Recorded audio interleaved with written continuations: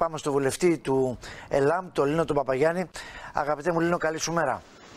Καλημέρα, Ανδρέα μου. Λοιπόν, ε, θέλω να δούμε λίγο τα οικονομικά μας. Να δούμε λίγο όλο αυτό που συμβαίνει, το πρωτόγνωρο βέβαια για όλους μας, την αβεβαιότητα που υπάρχει με τις οικονομικές εξελίξεις, ε, άνθρωποι εργαζόμενοι, αυτοεργα... αυτοεργοδοτούμενοι, ε, επιχειρήσεις, ουσιαστικά έτσι βιώνουν μια πρωτόγνωρη αγωνία για το μέλλον τους και θέλω να μου πεις αν τα μέτρα της κυβέρνησης θεωρείς ότι είναι ικανοποιητικά προκειμένου να κρατήσουν ζωντανή την οικονομία μας. Καταρχά, Ανδρέα μου, θα ξεκινήσω με το ότι υπάρχει μια γενική παραδοχή ότι η όλη κατάσταση είναι πρωτόγνωρη ναι. και σίγουρα κανένας δεν μπορεί να προβλέψει Σωστό. Σωστό. ούτε ποια θα είναι η ακριβή συνέχεια, ούτε και, θα, και ποια θα είναι η εξέλιξη στον τομέα της υγείας και κατ' επέκταση της οικονομίας. Σωστό.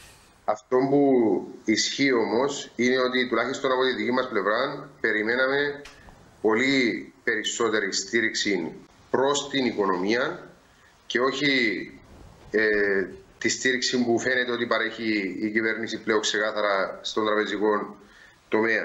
Ναι. Το λέω αυτό επειδή έχουμε ακούσει ότι τα δύο δις δεν θα πάνε στις τράπεζες και κάτι που πρέπει να ξεκαθαρίσει στον μυαλό του κόσμου είναι ότι όντως αυτή τη στιγμή δεν υπάρχουν 2 δισεκατομμύρια ευρώ διαθέσιμα και θα τα διαθέταμε στις τράπεζες. Mm-hmm. Αυτό που έκανε η κυβέρνηση είναι κάτι διαφορετικό, θα έχει την ίδια κατάληξη όμως.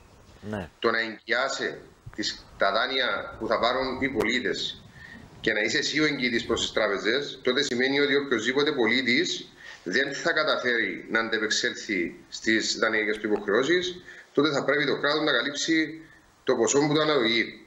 Ναι. Εφόσον τα μέτρα στήριξης δεν είναι κατάλληλα για να αντέξουν οι επιχειρήσεις και οι πολίτες, άρα και οι εργαζόμενοι, άρα και οι οικογένειε των εργαζόμενων, και είναι ένας κύκλος που θα συνεχίζει να προχωρά, τότε αυτά τα λεφτά θα καταλήξουν είτε μακροπρόθεσμα είτε μεσοπρόθεσμα στις τράπεζες. Θα, Επίσης... μείνει, θα τους μείνουν, το, θα τους μείνουν τα δάνεια των, των ανθρώπων. Έτσι, μάλιστα. Ακριβώς.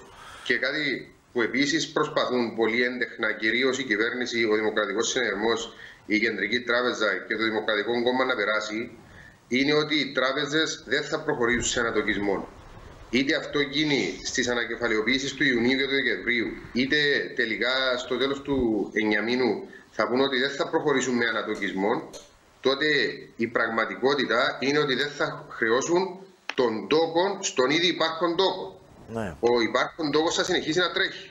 Ναι. Το κύριο βάρος λοιπόν που θα υπομειστεί ο οποιοδήποτε προχωρήσει στην αναστολή δανείων δεν είναι ότι δεν θα πληρώσει τα 50 ευρώ στο τέλος του δανείου είναι ότι θα πρέπει να πληρώσει μερικές χιλιάδες περισσότερες.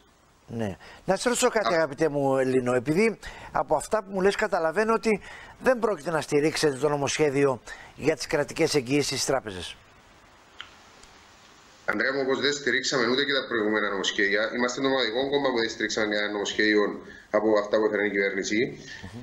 Δεν πρόκειται να στηρίξουμε κάτι που εμείς διαφωνούμε τουλάχιστον ως προς τη σκεπτική, το πλάνο και την αντίληψη Μάλιστα. που έχει η κυβέρνηση. Μάλιστα. Και να θέλω να πω κάποια συγκεκριμένα πράγματα όμως για να μην μείνω στην, ε, παρακαλώ, στο γενικό Παρακαλώ.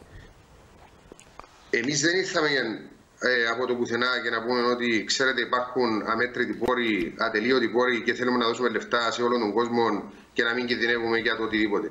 Είπαμε αντιθέτως κάτι πολύ πιο σοβαρό και πολύ πιο περιστατωμένο από τη στιγμή που υπάρχει αυτή η κατάσταση και θα υπάρχει δυσκολία στα οικονομικά, τότε θα έπρεπε να υπάρχει και άμεση στήριξη στην, στην οικονομία. Ναι. Εάν στηριχτεί η οικονομία, τότε θα μπορέσουμε πολύ πιο γρήγορα να ξεπεράσουμε όλη αυτή την απειλή. Αυτό που γίνεται σήμερα με τα μέτρα της κυβέρνησης, δηλαδή που στην ουσία δεν είναι μέτρα, αλλά είναι κυρίως αναστολές, αναστολές ε, της φορολογίας, η αναστολή του ΓΕΣΥ, η αναστολή των δόσεων και όλα τα υπόλοιπα, δεν είναι άμεσα μέτρα δηλαδή. Είναι αναστολές που σε λίγο διάστημα οι πολίτες θα δουν μπροστά τους. Και κάποια επιδόματα που θα δοθούν, αυτό το πράγμα μαθηματικά δεν θα μπορεί να είναι βιώσιμο. Και βιώσιμο όχι για το κράτος, αλλά δεν θα είναι βιώσιμο για τους εργαζόμενους. Πώς θα μπορούσε, Λίνο, έχεις δίκιο σε αυτό που λες, είναι ένα θέμα. Τώρα κανείς δεν μπορεί να το απαντήσει. Όμως, πώς θα μπορούσε να γίνει διαφορετικά, νοουμένου ότι βιώνουμε μια κρίση που ήρθε ξαφνικά, άνθρωποι Μάλιστα. βρέθηκαν ξεκρέμαση ξαφνικά, δουλειές πήγαν να κλείσουν, ε, δεν υπάρχει ρευστότητα στην αγορά. Πώς θα μπορούσε να γίνει διαφορετικά; Σχεδόν όλες οι επιχειρήσεις, ειδικά οι μικροεπιχειρήσεις, έχουν τρεχούν λογαριασμούς. Μάλιστα. πόσο δύσκολο θα ήταν εάν δινόταν το δικαίωμα σε αυτούς τους ανθρώπους να προχωρήσουν με έναν παρατράβηγμα του 20% σε σχέση με τον περσινό του τζίρο, ναι. χωρίς να το κιστεί αυτόν το επιπλέον 20%. Δεν ζητούμε να δοθεί ρευστό είδα στις επιχειρήσεις. Αν κάποιος, για παράδειγμα, που είχε ένα τρεχούμενο των 100.000 μπορούσε να έχει έναν overdraft ακόμα 20.000, δεν θα μπορούσε να πληρώσει τους λογαριασμούς του τους επόμενους μήνες, να πληρώσει τους υπαλλήλους του, να πληρώσει τα ενίκια του και να αντέξει τέλος πάντων για ένα διάστημα όχι κάποιων εβδομάδων, ναι. κάποιων μηνών μέχρι να ξεκινήσει και η εργασία της επιχείρησης του για να μπορέσει να συντηρήσει το προσωπικό που έχει και να αντεπεξερθεί. Εάν αυτό γινόταν άτοκα, τότε πολύ απλά αυτός ο άνθρωπος θα είχε πολύ πιο ε, δύσκολο, αν θέλετε, ε, δρόμο να ξεπεράσει στη συνέχεια.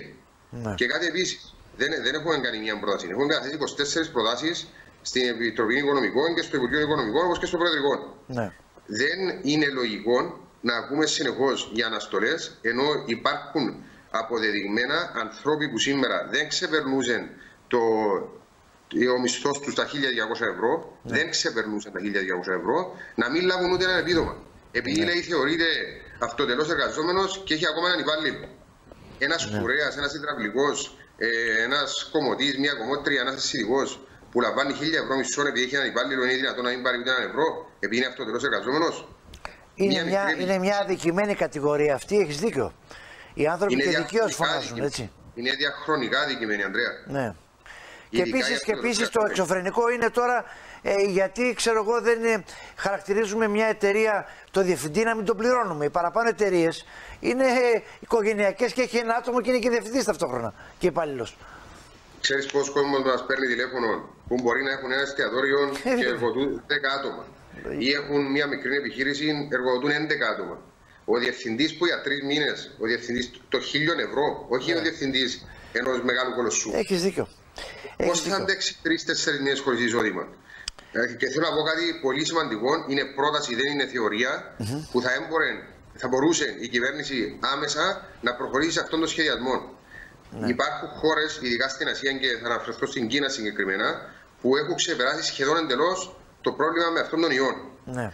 Ξεκινά σε λίγους μήνες, θα έπρεπε κανονικά, αν ήταν όλα φυσιολογικά, να ξεκινούσαν οι, οι, οι καλοκαιρινή σεζόν για τον τουρισμό και θα μπορούσε άνετα αυτή η συγκεκριμένη κατηγορία ανθρώπων να γίνει ο κύριος στόχος μας για τον φετινό τουρισμό. Εφόσον γνωρίζουμε ότι οι υπόλοιπες χώρες που κυρίως ε, έρχονταν στην Κύπρο για τουρισμό θα έχουν πολύ μεγάλο πρόβλημα, θα μπορούσαμε ήδη να ξεκινήσουμε ε, τη στόχευση αυτού του πληθυσμού.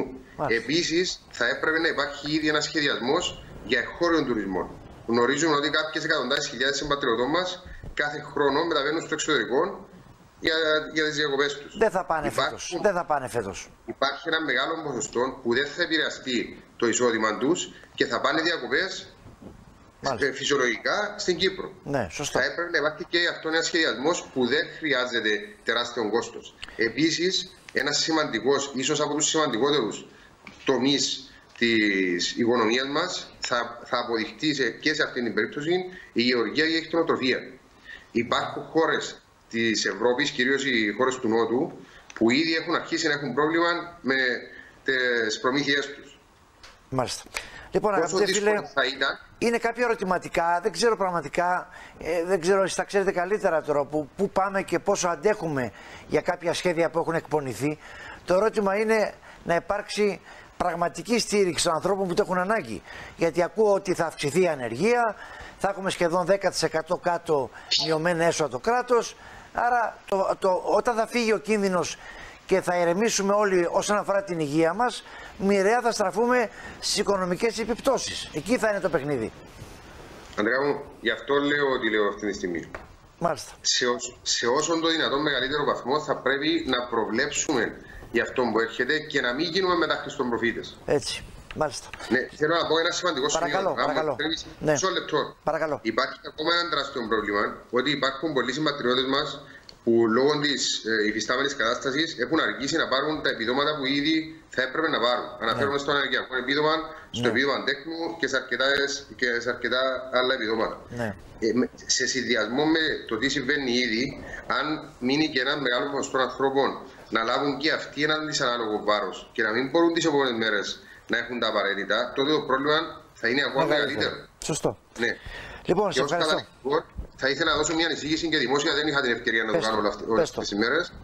Υ- Υπάρχει δυνατότητα για όσους δήμους και όσες κοινότητες το επιθυμούν σε συνεργασία με, την, ε, με τις εκκλησίες κάθε ενορίας να ακούγονται οι λειτουργίες αυτές τις Άγιες Μέρες του Πάσχα από τα ηχεία της κάθε, του κάθε τόπου έτσι ώστε ο πιστός χωρίς καμιά διακίνηση να μπορέσει να έχει τουλάχιστον την αίσθηση ότι οι Άγιες Μέρες του Πάσχα Μάλιστα. θα είναι διαφορετικές από, την- από αυτό που ζούμε τώρα. Μάλιστα. Σε ευχαριστώ πάρα πολύ. Νόμο.